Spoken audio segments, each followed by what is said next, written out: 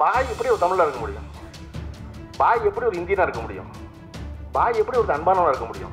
தமிழச்சிக்கு பிறந்தவன்லாம் தமிழன் யார் தொல் திருமாயா தம்பி சீமான் யார் கிறிஸ்தவன் என்று கொச்சைப்படுத்தினார்கள் நான் கவி காமு ஷெரீஃபையும் அப்துல் ரஹ்மானையும் அமீரையும் இஸ்லாமியரா பார்க்கல. தமிழர்களா தான் பார்க்கறேன். சுத்தமான தமிழை பேசி பேசி ஒரு அசுத்தமான அரசியலை வளர்த்து விட்டார்கள் இவர்கள். இவ்வளவு அன்பு கொண்ட இவர்களைத்தான் நீங்க இஸ்லாமியர்கள்னு சொல்லுவீங்கன்னா நாங்க தமிழர்கள்னு சொல்லுவோம்னா நீ சரியா நான் சரியா? தம்பி சீமான் மேடை பேச்சு மட்டும் கேட்டுக்கொண்டு நீங்கள் வந்துவிடக்கூடாது இஸ்லாமியன்னு என்ன இவர்களெல்லாம் வெளியே தள்ளுறாங்க.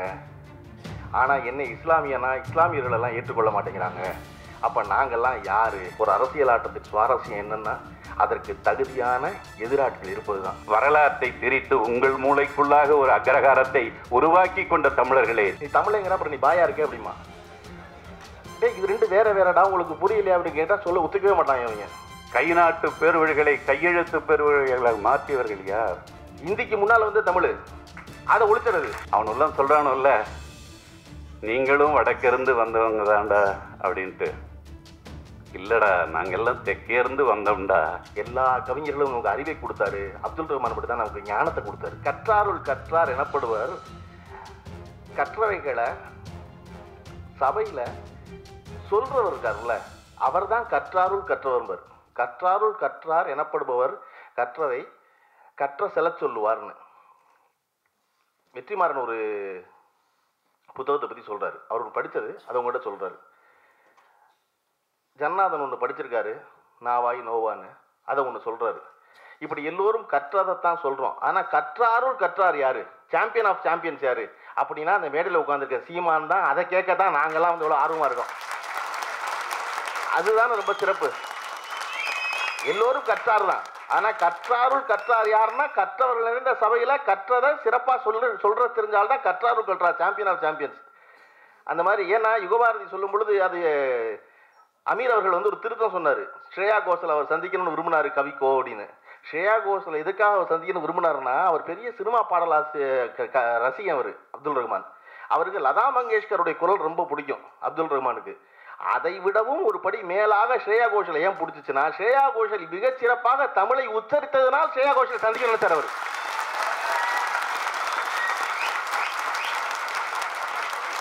நான் நிறைய கேட்டிருக்கேன் பாட்டு.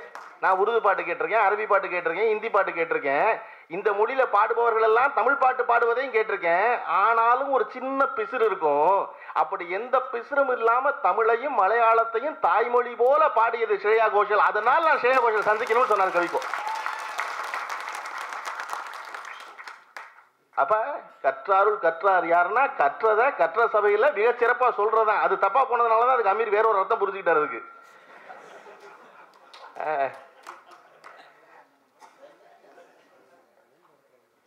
அதாவது நான் வந்து வித்யாசாகர் இசையமைப்பில் வந்து படம் இயக்கும்போது படம் இயக்கும்போது வித்யாசாகருடைய ஒளிப்பதிவு கூடத்தில் வந்து என்ன புதிய ஒரு வழக்கம் தொடங்கி இருந்துச்சுன்னா அப்போ நான் படம் இயக்க ஆரம்பித்த காலத்தில் ஒரு படத்திற்கான ஐந்து பாடல்கள்னா அது ஐந்து கவிஞர்கள் எழுதுவதுன்னு ஆணுச்சு.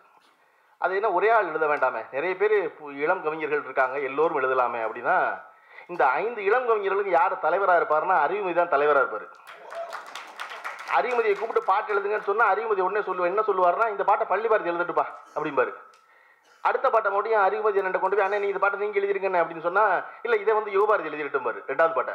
படத்துக்கு அஞ்சு பாட்டு தான் இருக்கும். சரி மூணாவது பாட்டு அண்ணன் எழுதி கொடுத்தா அது முத்துக்குமார் எழுதிட்டு பார்ப்பாரு நாலாவது பாட்டை பாவிச்சு எழுதிட்டு வர அஞ்சாவது பாட்டை நான் வச்சுக்கிறேன் பாரு கடைசியாக தம்பிகளுக்கெல்லாம் வாய்ப்பு பெற்று கொடுத்த பிறகு வருவார் கடைசியில். வந்து உட்காந்துக்கிட்டு பாட்டு எழுதுவது எப்படி நடக்கும்னா அவர் ஒரு யூபாரதி வரி சொல்ல அதுக்கு வந்து முத்துக்குமார் ஒன்று சொல்ல முத்துக்குமார் சொன்னது இல்லைடா தம்பி அப்படி சொல்லக்கூடாதா அப்படின்னு அறிவுமதி என்ன ஒன்று சொல்ல இப்படி நடக்கும். எனக்கு அது முதல்ல பெரிய ஆச்சரியமாக இருந்துச்சு. சினிமாவில் இன்னொருவனுக்கு வாய்ப்பு விடுவது என்பதே பெரிய அரிதான செயலாக இருக்க காலத்தில் ஒருத்தனுக்கு வாய்ப்பு வாங்கி கொடுத்து கூட உட்காந்து அதை சரி பண்ணுறது இருக்குல்ல. எப்படா அறிவுமதி இப்படி ஒரு ஆளாக இருக்காரு அப்படின்னு நினச்சா அறிவுமதி அதை எங்கேருந்து பெற்றாருன்னா கவிக்கோ அப்துல் ரஹ்மான் பெற்றார். பெற்றதனால் அதை அவர் கொடுத்தாரு. எதை பெறுகிறோமோ அதை தானே கொடுப்போம். கவிக்கோ வந்து அப்படி அறிவுமதி போல இளம் கவிஞர்களை கூட்டிக்கிட்டு சுற்றி ஏன்னா கவிதை எழுதின உடனே தான் ஒரு தனி உயரத்தில் ஒரு கிரீடம் தலைக்கு வந்துட்டதான் நினச்சிக்கிட்ட கவிஞர்களுக்கு மத்தியில் அப்துல் ரஹ்மான் அவர்கள் இளம் கவிஞர்களை பயிற்றுவிப்பதும் ஊக்கப்படுத்துவதும் அவர்களை எழுத வைப்பதுமே வேலையாகவே தொடர்ந்து ஒருத்தர் தன் வாழ்நாள் பூரா.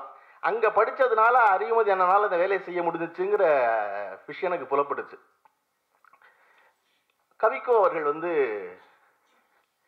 அமீர் அவர்கள் பேசிக்கிட்டு இருக்கும் பொழுது சொன்னார் இல்லையா? கவிக்கோவுக்கு இருந்த துன்பம் எனக்கு இருந்துச்சு.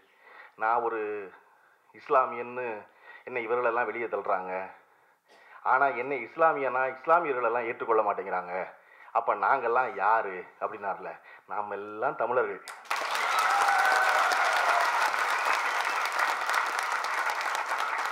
உங்களுக்கு அந்த குழப்பமே வேண்டாம். இன்னைக்கு அண்ணன் சீமான் அவர்கள் வந்து இந்த விழாவை நடத்துவது அவருக்கு நல்லா தெரியும். கவிக்கோவின் அரசியல் என்பது முழுக்க திராவிட முன்னேற்ற கழக மேடைகளில் தான் நிகழ்ந்தேறியது தெரியும். ஆனால் அவரை நினைவேந்தல் நடத்த வேண்டிய அவசியம் என்னன்னா அதை விட முன் அதுக்கு முன்னாடியே அவர் தமிழராக இருந்தார். பின்னாடியும் தமிழராய் தான் இருப்பார் என்பதை அறிந்ததனால் அப்துல் ரஹ்மானுக்கு இந்த விழா நடக்குது நினைவேந்தல். இல்லையா? அதை சொன்னால் அவங்களுக்கு புரியாது. நீ தமிழங்கிற அப்புறம் நீ பாயா இருக்க அப்படிமா? டே இது ரெண்டு வேற வேறடா உங்களுக்கு புரியலையா அப்படின்னு கேட்டால் சொல்ல ஒத்துக்கவே மாட்டாங்க அவங்க அவனுக்கு என்னன்னா யாருமே வந்து பாய் எப்படி ஒரு தமிழாக இருக்க முடியும்? பாய் எப்படி ஒரு இந்தியனாக இருக்க முடியும்? பாய் எப்படி ஒரு அன்பானவனாக இருக்க முடியும்? அதெல்லாம் நாங்கள் மொத்த ரைட்ஸ் வாங்கி வச்சிருக்கோம். அது நீங்கள் வாங்கிக்கக்கூடாது இப்போ அப்துல் ரஹ்மான் அவர்களை பற்றியும் அறிவுமதி அவர்களை பற்றி சொன்ன தனக்கு பின்னால் வருபவர்களை இளைஞர்களை ஊக்குவிக்கிறார்கள்னு சொல்கிறேன் இல்லையா? இங்கே நிலை என்னவா இருக்குன்னா தனக்கு முன்னால் வந்ததை ஒழிப்பது. இந்திக்கு முன்னால் வந்து தமிழ். அதை ஒழிச்சிடுறது. இதை எப்படி பின்னாடி வரவனை வாழ விடுவான்னு பார்த்துக்குங்க.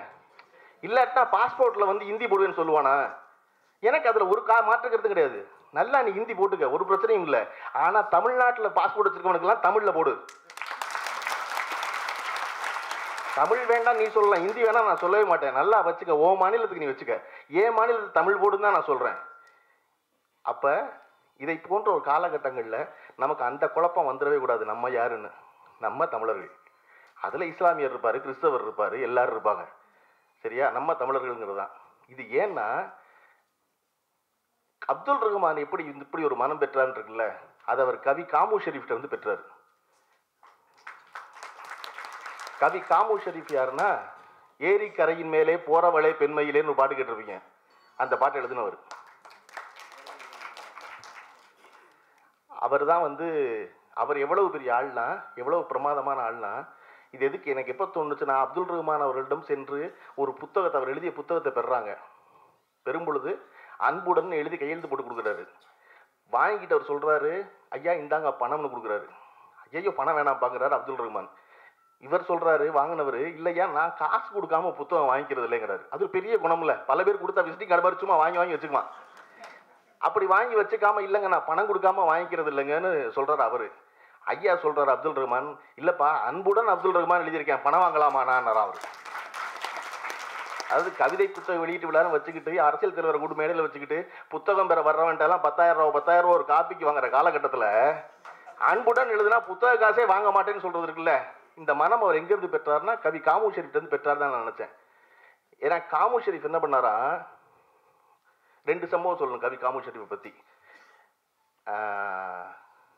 மாப்போசிக்கு வந்து ஐம்பதாவது பிறந்தநாள் விழா நடத்துகிறாங்க விழா நடத்தும் போது அன்னைக்கு ஐம்பது பவுன் தங்கம் கொடுக்குறதுன்னு முடிவெடுக்கிறாங்க. முடிவெடுத்து அதுக்கு தலைவராக அந்த நிதி சேர்க்கிற குழுவுக்கு தலைவராக கவி காமு ஷெரீஃபை போடுறாங்க. அந்த நாள் நெருங்குது. நெருங்க நெருங்க பணம் திரட்ட முடியல. காமு ஷெரீஃபுக்கு என்ன தோணுதுன்னா அது நம்ம தலைவராக வந்திருக்கோம். ஒருத்தருக்காக பணம் கொடுக்குறதுன்னு பொறுப்பேற்றுக்கிட்டு இருக்கோம். பணம் சேரலை. அதுக்காக இருக்கலாமான்னு அவர் பொண்டாட்டிகிட்ட போய் இங்கே வா நான் பொறுப்பேற்றுக்கிட்டு இருக்கேன். அவருக்கு ஐம்பது பவுன் தங்கம் கொடுக்குறோம்னு சேரலை. உங்ககிட்ட இருக்க பணத்தை எல்லாம் கொடு. நகையெல்லாம் கொடுன்னு வாங்கி எல்லாத்தையும் உருக்கி ஐம்பது பவுன் பண நகை நகையாக்கி தங்கமாக்கி கொண்டு போய் மாப்போசிக்கு போட்டவர் கவி காமு ஷெரீஃப். நான் ஒரு சொல்லு சொல்லிட்டேன் கொடுக்குறேன்னு. அதை நிறைவேற்றணுங்கிறாரு இது ப பணமா? மனமா கவி காமு ஷெரீஃப் யாருன்னா அவருடைய ரொம்ப நெருங்கிய நண்பர் ஒருத்தர். ஒரு நாள் கண்ணீரோடு வந்து நிற்கிறார் வீட்டில் கவி காமு ஷெரீஃப்கிட்ட இவர் பதறுகிறார் என்னன்னு இல்லை என் மக வந்து ஒரு பொருந்தாத காதலில் ஈடுபட்டு கர்ப்பமாயிட்டா? இப்போ நான் என்ன செய்யறதுன்னு எனக்கு தெரியல. அவளை வச்சுக்கிட்டு அவன் ஓடி போயிட்டான். இவ கருவிட்டுட்டா என்ன செய்யறது தெரியலன்னா காமு ஷெரீஃப் சொல்றாரு நண்பர்கிட்ட ஒரு இந்து நண்பர். அவர்கிட்ட சொல்றாரு கருக்கலைப்பை என் மார்க்கம் வந்து ஆதரிக்கல. அதை மறுக்குது. அதை செய்யக்கூடாது நாங்க. அதுக்கு பதிலாக ஒன்று செய்யலாம். உன் மகளின் வயிற்றில் கருவாணிச்சு வர புள்ள. அந்த புள்ளைய பத்திரமா பெத்தெடுக்கிற வேலையை வேணா அதுக்கு நான் உதவி செய்கிறேன்னு சொல்லி தன் மனைவியை கூப்பிட்டு அவருடைய சொந்த கிராமமான வேல்குடிக்கு அந்த பொண்ணையும் மனைவியையும் அனுப்பி வச்சு பிரசவத்தை நல்லபடி முடிச்சு அந்த பொண்ணை மறுபடியும் நீ புள்ள பெறல நீ ஊருக்கு போ வாழ்க்கையை தொடரும்னு சொல்லிட்டு அந்த புள்ளைய தன் மனைவியிடம் கொடுத்து வாழ்நாளில் வளர்த்தவர் கவி காமேஸ்வரி.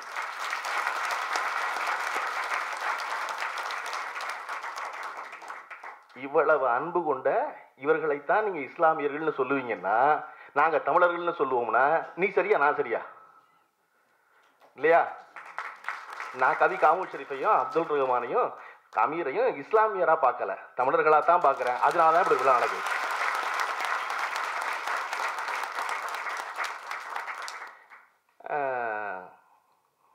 க- கவிக்கோவது சூஃபி கவிதைகள் நிறைய எழுதினவர்னு நிறைய சொல்லிட்டு இருந்தோம்.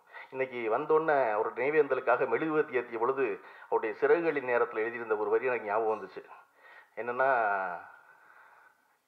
ஒரு சூஃபி ஞானி ஹசன்கிறவர் வந்து அவருடைய மரணப்படுக்கையில் இருக்கார். மரணப்படுக்கையில் இருக்கும் பொழுது அவரை சுற்றி எல்லாரும் கூடியிருக்காங்க. அவர் காலமாக போகிறாரு அவரோட அவர் அறிவெல்லாம் போயிட போகுது அப்படிங்கும்போது உங்களுடைய குரு யாருன்னு கேட்குறாங்க அவர்கிட்ட. அவர் சொல்கிறார் எனக்கு குருனா ஆயிரக்கணக்கில் இருக்காங்க. அது யாருன்னு குறிப்பிட்டு சொல்கிறது இல்லை அதில் அந்த குருவுக்கெல்லாம் மேலான ஒருத்தர் அப்படின்னு ஒருத்தர் சொல்லலாம்ல. அவரை ஒருத்தர் சொல்லுங்க நீங்கள் அப்படின்னு அந்த சூஃபி ஞானி ஹசன் சொல்கிறாரு அப்படின்னா அது ஒரு சிறுவன் ஒருத்தன். ஒரு ஏ இது ஒருத்தன் நான் சொல்கிறேன் அவர் சொல்ல ஒருத்தருங்கிறார் ஹசன். என் குரு வந்து குருக்கள் எல்லாம் குருவானவர் வந்து அந்த சிறுவர் ஒருத்தர் பத்து வயது அவருக்கு. அப்படின்னா கேட்டவர்களுக்கு பெரிய ஆச்சரியம். இவரே பெரிய ஒரு சூஃபி ஞானி. இவருக்கு பல குருக்கள் இருந்திருக்காங்க. ஆனால் இன்னைக்கு நினைவில் வைத்து சொல்வது ஒரு பத்து வயது சிறுவனை தான் சொல்கிறாரு இவர். அப்படி என்ன சொல்லி கொடுத்தாரு உங்களுக்கு அவர்? அப்படின்னு கேட்டோன்னே அவர் சொல்றாரு அவர் நான் ஒரு ஊரில் பார்த்தேன் அந்த சிறுவரை.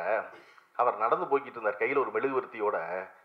அவரை பார்த்துட்டு நான் கேட்டேன் இந்த சூஃபி ஞானி ஹச ஹசன் கேட்குறாரு அவரை பார்த்துட்டு நான் கேட்டேன் இந்த தீபம் எரியுதே சுடர். இந்த சுடர் எங்கிருந்து வந்ததுன்னு கேட்டேன். அப்படின்னா அந்த சிறுவர் வந்து ஞானியை பார்த்து சிரிச்சிட்டு ஃபூனு ஊதி அணைச்சிட்டான் அணைச்ச உடனே இப்படி பார்த்துக்கிட்டே இருந்தாராம். இப்போ எரிஞ்சுக்கிட்டு இருந்த சுடர் அணைஞ்சிச்சுல்ல? அது எங்கே போணுச்சு? அங்கே இருந்தா வந்துச்சு அப்படின்னா அந்த பையன். ஹசன் சொல்றாரு அன்றுதான் நான் ஞானம் பெற்றேன். என் குரு அவனேங்கிறார். நம்ம ஏன் அப்துல் ரஹ்மானை கொண்டாடணும்னா எல்லா கவிஞர்களுக்கும் மேலா எல்லா கவிஞர்களும் நமக்கு அறிவை கொடுத்தாரு. அப்துல் ரஹ்மான் மட்டும் தான் நமக்கு ஞானத்தை கொடுத்தாரு. அதனால நம்ம அவர் கொண்டாடணும். அதுவும் இன்று நாடு இருக்கும் சூழலில் பாரதிதாசனோ அப்துல் ரஹ்மானோ இருந்திருக்கணும். இருந்திருந்தால் பிரமாதமாக இருந்திருக்கும் இந்த ஆட்டம் பார்க்கறதுக்கு இல்லையா?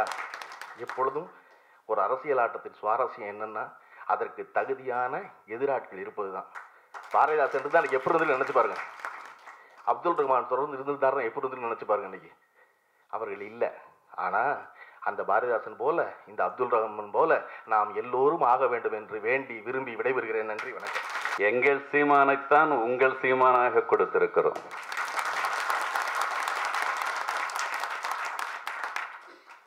எழுபத்தி மூணு அபிபுல்லா சாலை.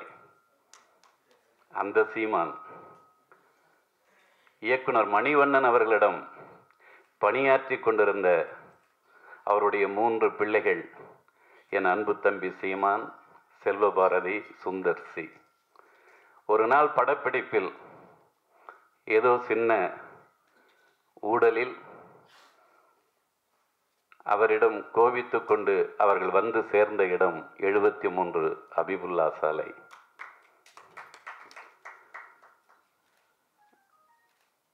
அந்த தளத்தில் அங்கே நாங்கள் வாழ்ந்த வாழ்க்கை சாதாரண வாழ்க்கை இல்லை. என் அன்பு தம்பி நான் முத்துக்குமார். வருகிற ஆகஸ்ட்டு பதினாலா பதினைந்தா? ம்? பதினான்கு. அவனுடைய முதல் நினைவு நாள் வருகிறது.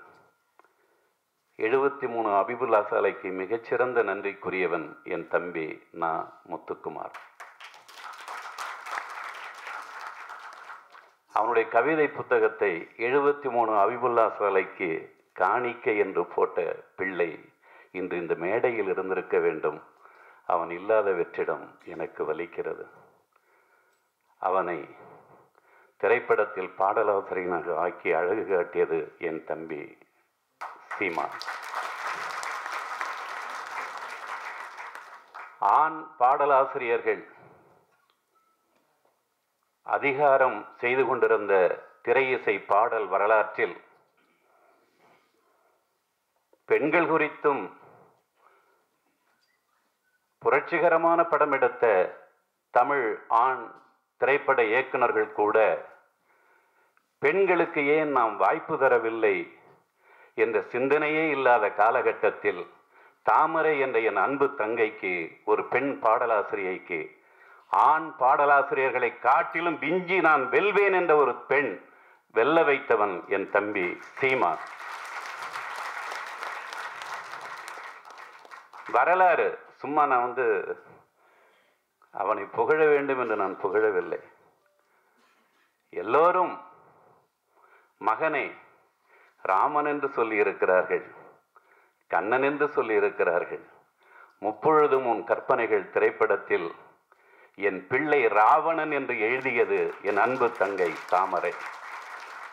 ஒரு சரியான பாடலாசிரியை அறிமுகப்படுத்திய என் தம்பி. அதற்கடுத்து படப்பிடிப்பு குழுவே நின்று கொண்டிருக்கிற இடத்தில் ஒரு இயக்குனன் அந்த ஒளிப்பதிவாளர் மற்றும் அந்த தொழில்நுட்ப கலைஞர்களோடு இருக்கையில் இந்த ஆள் மட்டும் இல்லைன்னா நான் பெரிய குளத்தில் ஆடு மேய்ச்சிருப்பேன் மாடு மேய்ச்சிருப்பேன் என்று சொன்னவன் என் அன்பு தம்பி இயக்குனர் பாலா. இங்கே இதையெல்லாம் சொல்லுவதற்கான காரணம் நாங்கள் வாழ்ந்த வாழ்க்கையின் அந்த நினைவுகள். நான் உதவி இயக்குனனாகத்தான் இந்த இடத்தில் நிற்கிறேன். இயக்குனனாக நிற்கவில்லை. ஆனால் இயக்குனர்களை நான் உருவாக்குவதற்கு காரணமாக இருந்திருக்கிறேன். பாடலாசிரியர்களை உருவாக்குவதற்கு காரணமாக இருந்திருக்கிறேன். அவ்வளவுதான். மற்றபடி எழுபத்தி மூணு அபிபுல்லா சாலை என்பது அறிவுமதியால் நான் இவர்களை உருவாக்கினேன் என்று சொல்வது தவறு வரலாற்று பிழை. அந்த எழுபத்தி மூணு அபிபுல்லா சாலையின் சூழல் அங்கே நாங்கள் இருபது பேர் முப்பது பேர். அந்த மதியம் அந்த இலை போட்டு நாங்கள் சாப்பிட்ட அந்த சாப்பாடு இப்பொழுதும் எங்களுக்குள் அதுதான் ஊறி எங்களை வாழ வைத்துக் கொண்டிருக்கிறது. அவ்வளவு அன்பு பிள்ளைகள். பழனி பாரதியாக இருந்தாலும் சீமானாக இருந்தாலும் செல்வ பாரதியாக இருந்தாலும் அப்படியே மாமன் மச்சான் அவங்க உருண்டு பிறண்ட அந்த நினைவுகள் அதையெல்லாம் சீமான் அழகாக சொல்வான். ஏன்னா இனி நாங்கள் பேச வேண்டிய அவசியமே இல்லை. அண்மையிலே நான் வியந்து கேட்ட இரண்டு உரையாடல்கள் ஒன்று மக்கள் மன்றம் என்ற தளம் என்று நினைக்கிறேன். டெல்லியில் இருப்பவர்களுக்காகவே கேள்விகளை தயாரிக்கிற ஒரு பீகார் மனிதன் மடக்கி மடக்கி கேள்வி கேட்ட நேரத்திலும் கூட அசராமல் ஒட்டுமொத்த உலகத் தமிழர்களின் சார்பாகவும் சான்றுகளோடு குரல் கொடுத்த என் தம்பி சீமான். அவன் உச்சரிக்கிற தமிழ் இருக்கிற போது அறிவுமதி இனி நீ மேடை ஏற வேண்டாம். விலகிக்கொள் என்று எனக்குள்ளாக என் மனசாட்சி என்னை பெருமிதப்படுத்த வைத்தது. அப்படித்தான். நேற்றா நேற்று முன்தினமா? சந்தானானந்த முந்தா நாள். சந்திரசேகர் மண்டபத்தில் என் உயிருக்கினிய தலைவன் தொல் திருமா ஆற்றிய உரை. சுருதி என்ற வலைதளத்தில் பாருங்கள். மிக வரலாற்று சிறப்பு மிக்க இன்னும் ஐநூறு ஆண்டுகள் கூட அதை வைத்துக்கொண்டு தமிழ்நாட்டு அரசியலை நாம் தீர்மானிக்கக்கூடிய அளவிற்கு ஊறி வருகிற அறிவில் அவர் உரைத்த அந்த உரை நீங்கள் வீட்டிற்கு சென்ற பிறகு கைபேசிக்குள்ளாக மிக எளிமையாக கிடைக்கும். கேட்டு பாருங்கள். தொல் திருமாயார் தம்பி சீமான் யார் கிறித்துவன் என்று கொச்சைப்படுத்தினார்கள் டே உங்களுக்கெல்லாம் தெரியுமாடா? தொல் திருமா தமிழ் இனத்தில் பிறந்தவர்கள் தலைமை அர்ச்சகர்களாக இருந்தவர்கள் போர்க்களத்திலே போராளிகள் ஆயுதம் ஏந்தினால் பறை போராளிகளாக அந்த போராளிகளை உற்சாகப்படுத்தியவர்கள் பறையர்கள். சும்மா வரலாற்றில் ஏளனப்படுத்திடாதீங்கடா. தமிழர்களில் தலைத்தமிழர்கள் பறையர்கள். பாணன் பறையன் கடம்பன் துடியன் என்ற இந்த நான்கு குடிகளை தவிர வேறு சிறந்த குடிகள் இல்லை என்று சங்க இலக்கியத்தில் சொல்லிவிட்டு போயிருக்கிறான். எவனோ வந்தவன் சொன்ன பேச்சை கேட்டு வரலாற்றை திரித்து உங்கள் மூளைக்குள்ளாக ஒரு அக்ரகாரத்தை உருவாக்கி கொண்ட தமிழர்களே திருந்துங்கள் திருந்துங்கள். சீமான் யார்? தெரியுமா? தொட்டாதான் தீட்டு பறையர்கள். பார்த்தாலே தீட்டு யார் தெரியுமா? தெரியுமா தோழர்களே தமிழர்களே? அவர்களுக்கு நிலமில்லை தோழர்களே தமிழர்களே. அவர்களுக்கு நாற்பது அடி ஐம்பது அடி பனைமரம் மட்டும்தான் தோழர்களே. அதையும் ஏறக்கூடாது என்று ஒரு மூதறிஞர் சொல்லிவிட்டார் தமிழர்களே. தாமிரபரணி கரணியிலே குளிக்க போகிற முக்காடு போட்ட ஒரு மேட்டுக்குடி பெண் கையிலே ஒரு குச்சியை வைத்துக்கொண்டு அதை மெல்ல தட்டி தட்டி ஒத்து ஒத்து ஒத்து ஒத்து ஒத்து என்று போகிற பொழுது பதுங்கி பதுங்கி மரத்திலும் செடிகளும் கொடிகளும் பதுங்க வேண்டியவர்களாக இருந்தார்களே அந்த பாட்டியில் பிறந்த ஒரு தாய்க்கு பிறந்தவன் என் தம்பி சீமான் தமிழர்களே. இந்த தமிழ் சமூகமே தன்னை நிராகரித்த பிறகு கூட நான் உங்களோடு இணைய வருகிறேன் என்ற தொல் திருமாவளவனையும் உங்களோடு நான் நாம் தமிழர்களாக வருகிறோம் என்று சொல்கிற சீமானையும் தலைமையேற்காமல் இந்த தமிழகம் உருப்படாது. புரிந்து கொள்ளுங்கள். சும்மா சாதாரண வரலாற்று அடையாளம் இல்லை. கை நாட்டு பேர்வழிகளை கையெழுத்து பேர்வழிகளாக மாற்றியவர்கள் யார்? தந்தை பெரியார். அம்பேத்கர் காமராசர். மறந்து விடாதீர்கள் வரலாற்றை. தம்பி யுகபாரதி கூட திராவிட இயக்க மேடைகளில் கூட பேசியிருந்தாலும் தமிழுக்காக பேசினார் என்று சொல்கிறார். யுகபாரதி இன்றைய திராவிட இயக்கத்தை வைத்துக்கொண்டு தொடக்கத்திய திராவிட இயக்கத்தை அந்த மேடைகளை அதெல்லாம் எங்களுக்கு வந்து மாலை பள்ளிக்கூடங்கள் தமிழ்நாட்டில் பொதுவுடைமை இயக்க மேடைகளும் இந்த பகுத்தறிவு மேடைகளும் இந்த திராவிட இயக்க மேடைகளும் இல்லை என்றால் இந்த சீமானுக்கு தமிழ் ஏது? இந்த கரு பழனியப்பனுக்கு தமிழ் ஏது? இந்த இந்த தேர்தல் அரசியல் நாம் அனைவரும் உன்னை விட நான் விமர்சித்தவன் எழுதியிருக்கிறேன் ஆனால் நன்றி மறக்கக்கூடாது. என்ன எழுதினேன்? அதிகம் படிக்காத பெரியாரை நம்பினோம் நமக்கு பல்கலைக்கழகங்கள் கிடைத்தன. பல்கலைக்கழகங்களில் படித்த இவர்களை நம்பினோம். நமது அரிச்சுவடிகளும் தொலைந்து போயின. சுத்தமான தமிழை பேசி பேசி ஓர் எப்படி? கொச்சையான தமிழை பேசி பேசி ஒரு சுத்தமான அரசியலை வளர்த்தவர் தந்தை பெரியார்.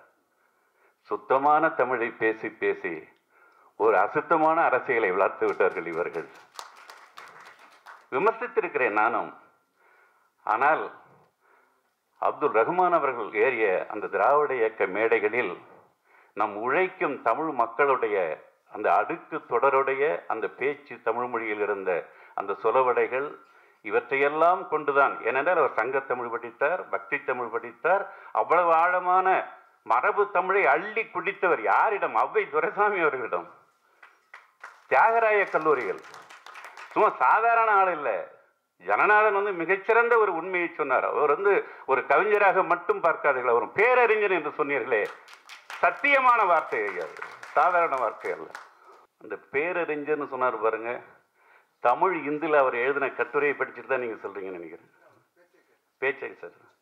அதாவது மானுடவியல் அறிவை அள்ளி குடித்தவர். உலக மதங்களுடைய அத்தனை சாரங்களையும் அள்ளி குடித்தவர். அது அவர்கிட்ட வந்து அந்த பேசி பேசி பேசி நீங்கள் அதை கேட்கும்போது தான் அந்த வியப்பு இருக்கும். மேடைகள் பேசிய அப்துல் ரஹ்மான் ஒன்று. ஆனால் அவரோடு வாழ்ந்தவர்கள் நாங்கள். நான் அவருடைய பிள்ளை. மூன்றாவது பிள்ளை. இங்கே என்னுடைய தம்பி. நம்ம அமீர் பேசும்போது கூட இஸ்லாமியர் இஸ்லாமியர் அப்படின்னாரு. தமிழச்சிக்கு பிறந்தவன்லாம் தமிழன் தான் ஐயா.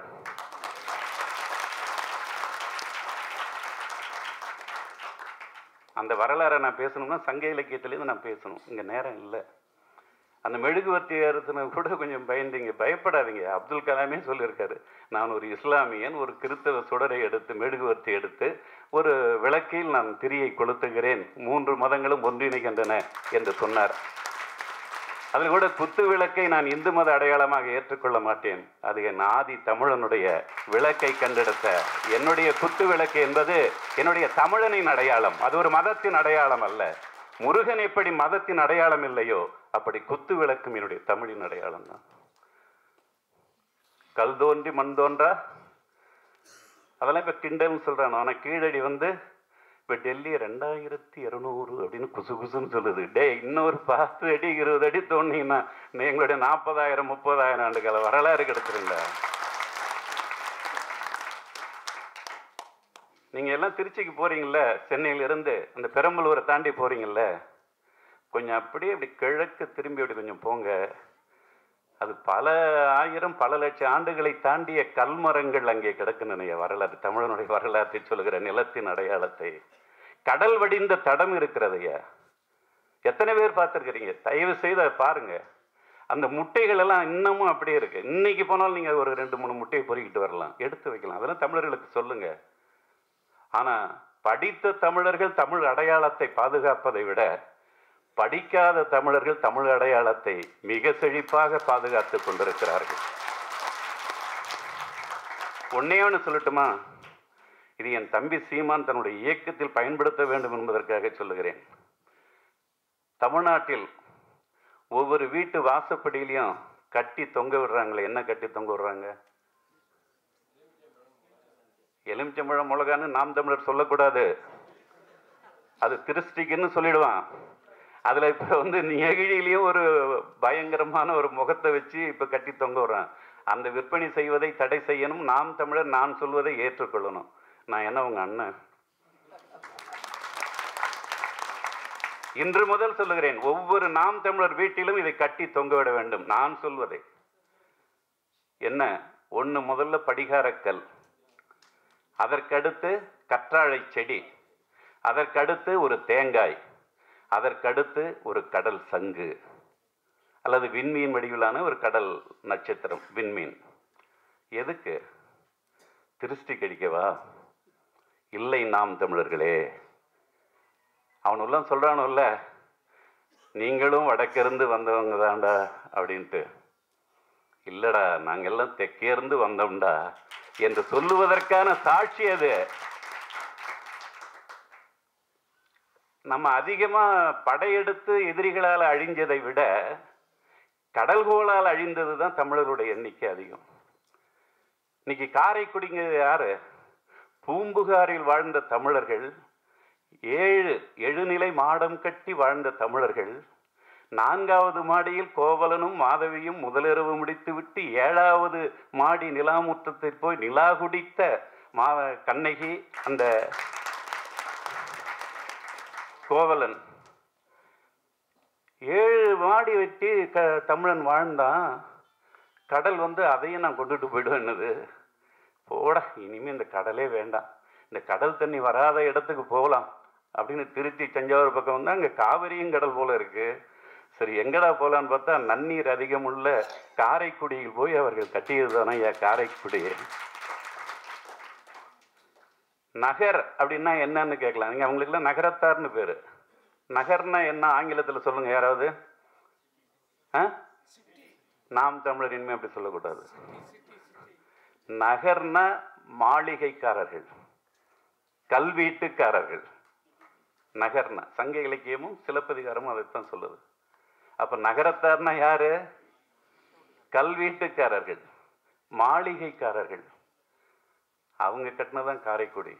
அப்படி இந்த ஆழி பேரலை வந்து தங்களை மீண்டும் அழிக்க வந்தால் முதலுதவிக்காக கட்டி தொங்கவிடப்படுவதுதான் அந்த அச்சத்தில் தான் படிகாரக்கல் என்ன செய்யும்? நன்னீர் குளங்களில் நன்னீர் கேணிகளில் அந்த ஆழி பேரலை அந்த தண்ணீர் வந்து கெடுத்து விட்டு போய்விட்டால் எந்த தண்ணீரை குடிப்பது? அந்த படிகாரக்கல் என்ற மருத்துவ குணமுள்ள அந்த படிகாரக்கல்லை எடுத்து குடத்திலே அந்த ஆழிப்பேரலை கலந்த தண்ணீரை வைத்து அதிலே தீத்தி கொஞ்ச நேரம் விட்டால் அந்த வண்டல் எல்லாம் கீழே போய்விடும். அந்த நன்னீரை எடுத்து குடித்து என் இனம் தன்னை காப்பாற்றிக் கொள்ள வேண்டும் என்பதற்காகத்தான் அந்த படிகாரக்கல்லை கட்டி தொங்க விடுகிறார்கள். கற்றாழை. அதற்கு இன்னொரு பெயர் என்ன? குமரி. விராலி செடிகள் அதிகமாக விளைகிற இடத்திற்கு பெயர்?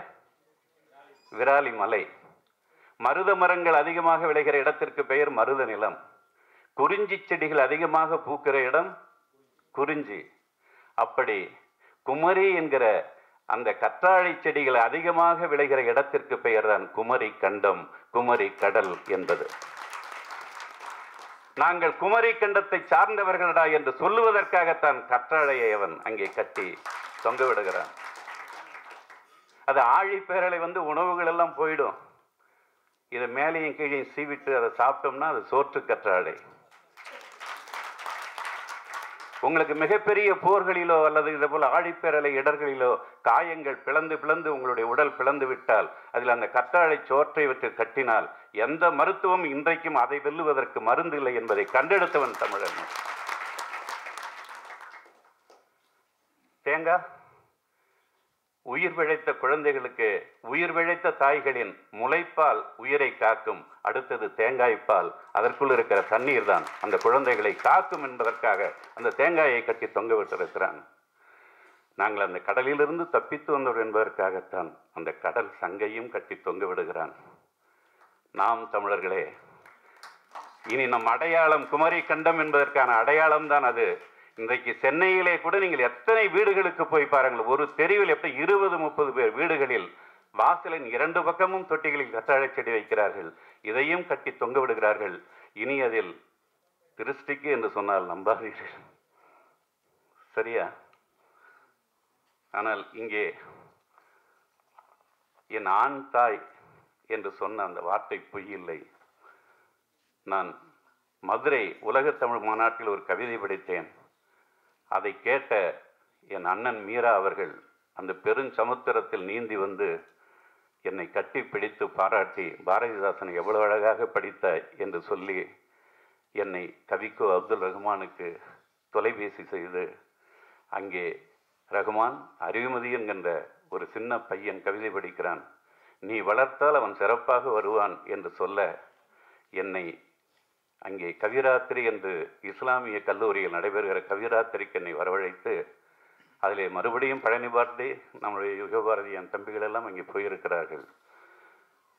என்னை அதில் கண்டெடுத்த பிறகு அதை நான் பதிவு செய் பல முறை பதிவு செய்திருக்கிறேன். இருந்தாலும் இங்கே இருக்கிறவங்க பெரும்பகுதிக்கு என்னை யாருன்னே தெரியாது. சீமானுக்கு எனக்கு என்ன உறவுன்னே பல பேருக்கு தெரியாது. இருந்தாலும் நாம் தமிழ் கலைஞர்களுக்கு தெரிய வேண்டும் என்று சொல்லுகிறேன். என்னை வரவழைத்து ஒரு கிறித்துவ பெத்தானியன் ஹோம் என்ற அந்த நிறுவனத்துக்கு பெயர். அதில் வந்து வாடகை எடுத்து நீ இதில் தங்கிக்கோ என்று சொல்லி என்னை அவருடைய டிவிஎஸ் ஐம்பதில் வாணியம்பாடி நகரத்துக்கு அழைத்து போய் ஒரு மகளுக்கு ஒரு அப்பன் என்னென்னலாம் செய்வான் அப்படி பானை பாய் தலையணை குளிப்பதற்கான கழிவறைக்கான அவ்வளவு பொருள்களையும் வாங்கி என்னை பின்ன தொடப்பம். எல்லாத்தையும் வாங்கி என்னை பின்னாடி உட்கார வச்சுட்டு ஆ? என்னை அழைச்சிட்டு வந்து அந்த பெத்தானியன் அந்த இல்லத்தில் தங்க வச்சுட்டு காலையில் கல்லூரி பேராசிரியர் மாலையில் அந்த வேலூர்லேருந்து அந்த மாவட்டங்களுக்கெல்லாம் அவர் ஐயா மாலை நேர அந்த தமிழை அவனைப் போல பரப்பிய ஒரு புலவன் அவர் மட்டுமல்ல அவரோடு பேச வேண்டும் என்றால் அப்துல் காதர் என்ற என்னுடைய அண்ணன் நைமு இக்பால் எல்லாரும் எங்களை அப்படியே குழந்தை போல வளர்த்தாங்க. நீ சின்னைக்கே போகாத சினிமாக்காரங்க உன்னை வாழ விட மாட்டாங்க. நீ இங்கேயே இரு என்று என்னை மறுபடியும் அழைத்து ஆம்பூர் இஸ்லாமிய கல்லூரியில் என்னை பேராசிரியராக இருக்கச் செய்து நான் அதை விட்டுட்டு மறுபடியும் நான் வந்துட்டேன். வந்த பிறகு தான் எழுபத்தி மூணில் இவ்வளோ பேரை என்னால் பார்க்க முடிஞ்சது. அந்த ஐயாவுடைய நினைவு என்பது திரைப்பட இயக்குனர்களாக அவரால் வளர்க்கப்பட்ட பிள்ளைகளாகிய நாங்கள் எங்களையெல்லாம் அழைத்து ஒரு அரசியல் இயக்கமாக மாறிக்கொண்டிருக்கிற என் தம்பி சீமான் இத்தகைய ஒரு இலக்கிய நிகழ்வை நிகழ்த்தி காட்டியிருக்கிற அழகு என்பது தமிழர்களுக்கு இனி எல்லா இயக்கங்களும் இதை பின்பற்ற வேண்டிய முறையாக நான் இதனை மிக நெகிழ்வோடு நான் பார்க்கிறேன். அதுக்கடுத்து இன்னொன்று பேச்சாளனாக இருந்த தம்பி சீமான் தலைமை பண்புக்கு வந்துவிட்டார் என்பதை பலவேறு நேரங்களில் உணர்ந்தாலும் இந்த அழைப்பிதழிலும் அதை நான் உணர்கிறேன். இதில் அவர்கள் நினைத்திருந்தால் அந்த தோழர்கள் கூட அதை செய்திருக்கலாம். ஆனால் என் தம்பி தடுத்திருப்பான் என்று நான் உணர்கிறேன். எல்லாருடைய பெயரும் எந்த அளவுக்கு போடுகிறாயோ அந்த அளவிற்குத்தான் என் பெயரையும் போட வேண்டும் என்று சொல்லுகிறாயே சீமான். உன்னுடைய தலைமைத்துவ பண்பு என்பது தொடர்ந்து இப்படி பல்வேறு கிளைகளாக கிளைக்க கிளைக்க உன்னை போன்றவர்கள் தொல் திருமாவளவன் போன்றவர்கள் இன்றைய நெருக்கடிக்கு அந்த எதிரிகளை எல்லாம் மிகச்சிறந்த தமிழ்ச்சுவரை எழுப்பி நீங்கள் எங்களை காப்பாற்றுவீர்கள் என்ற நம்பிக்கை எங்களுக்கு இருக்கிறது. இளைஞர்களே நீங்களும் அதிகம் படிக்க வேண்டும். தம்பி சீமான் மேடை பேச்சு மட்டும் கேட்டுக்கொண்டு நீங்கள் வந்துவிடக்கூடாது. தந்தை பெரியார் சொன்னார் இன்னும் ஐம்பது ஆண்டுகள் கழித்து இப்படி ஒரு கிழவன் இவ்வளவு பிற்போக்காக பேசியிருக்கிறானே என்று என்னை விமர்சிக்கக்கூடிய அளவிற்கு நீங்கள் வளர வேண்டும் என்று சொன்னான். எனவே என் தம்பி சீமான் தலைவர் சீமானாக மேடையில் என்று பேசுகிற பொழுது அண்ணா இந்த கருத்தை நீங்கள் விட்டுவிட்டீர்கள். என்று நீங்கள் எடுத்து கொடுக்கக்கூடிய அறிவாளிகளாக நீங்கள் வளர்ந்து செழிக்க வேண்டும். நாம் உணர்ச்சி தமிழர்களாக இருக்கிற வரை நம்மை எய்த்து கொண்டிருப்பார்கள். அறிவு தமிழர்களாக மாறிவிட்ட பிறகு நம்ம எவனும் எய்க்க முடியாது என்பதை நீங்கள் உணர்ந்து கொள்ள வேண்டும். கவிக்கோ அப்துல் ரஹ்மான் அவர்கள் சில கவிதைகளை மட்டும் சொல்லிவிட்டு போகிறேன். உனக்கு மிகச்சிறந்த வீடு எதுவென்று சொல்லட்டுமா? நமக்கு தான் கேட்கிறார் உனக்கு மிகச்சிறந்த வீடு எதுவென்று சொல்லட்டுமா? மற்றவர்களுடைய இதயம் என்று சொல்லுகிறார். அவ்வளவு இதயங்களை அவர் சம்பாதித்திருக்கிறார் என்பதை என் தம்பி அழைக்க இவ்வளவு பேர் வந்து குழுமி இருக்கிறீர்களே உங்கள் இதயங்களில் அவர் இருக்கிறார் என்பதை நான் உணர்ந்து மகிழ்கிறேன். கவிதை என்பது எவ்வளவோ பேர் சொல்லியிருக்கிறார்கள் ஆனால் அவர் நிகழ்கால அரசியலோடு என்றைக்கும் இருந்தவர் என்ற முறையில் சொல்லுகிறார் கவிதை என்பது உணர்ச்சிகளின் செய்தித்தாள் என்கிறார். கவிதை என்பது உணர்ச்சிகளின் செய்தித்தாள் என்கிறார்.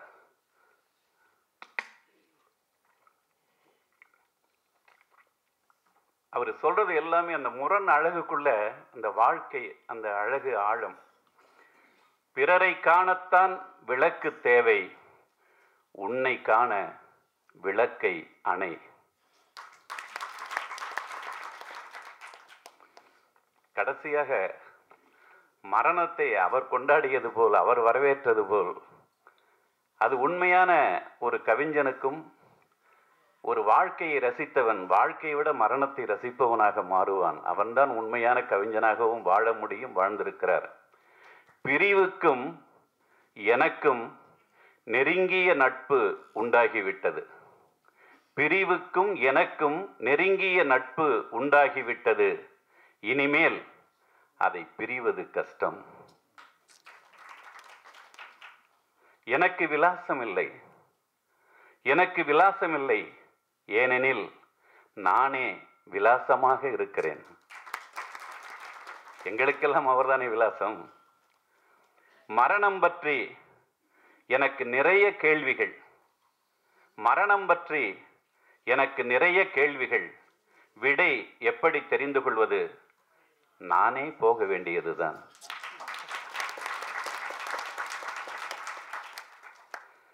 மரணம் என்றால் அழிவு என்கிறாய். மரணம் என்றால் அழிவு என்கிறாய். அது நிறைவு என்பதை நீ கவனித்ததில்லையா? ஒரு ராகம் நிறைவடையும் போது நின்று போகிறதல்லவா? அப்படித்தான் என் கவிக்கோ நின்று போனார். ஆனால் அது சுடரின் அணைப்பாக அல்ல நம் எல்லோருடைய நினைவுகளிலும் நின்று எறிவதாக அவர் நம் இதய அகல்களில் சுடராக நின்று போனார். அவர் நினைவுகள் வாழ்க வாழ்க வாழ்க. என் தம்பி சீமான் இத்தகைய இலக்கியவாதிகளை படைப்பாளிகளை மதிக்கிற இந்த பண்பு படைப்பாளிகளாக இருக்கிற உலகத்தில் இருக்கிற அனைத்து கவிதை பிள்ளைகளின் சார்பாகவும் என்னுடைய மூத்த கவிஞர்களின் சார்பாகவும் நாம் தமிழர் தலைவராக இருக்கிற என் அன்பு தம்பி சீமானுக்கும் அவரை பற்றி நீங்கள் தமிழருக்காக உலக தமிழர்களுக்காக தலைவர் பிரபாகரனின் அந்த உள்ள கிடக்கையை நிறைவேற்றுபவர்களாக பணிபுரிகிற அனைவருக்கும் இந்த விழா மேடையில் கவிக்கோ என்ற அந்த ஆண் தாயின் சார்பாக மட்டுமல்ல அனைத்து படைப்பாளிகள் சார்பாகவும் நன்றியை சொல்லி விடைபெறுகிறேன்.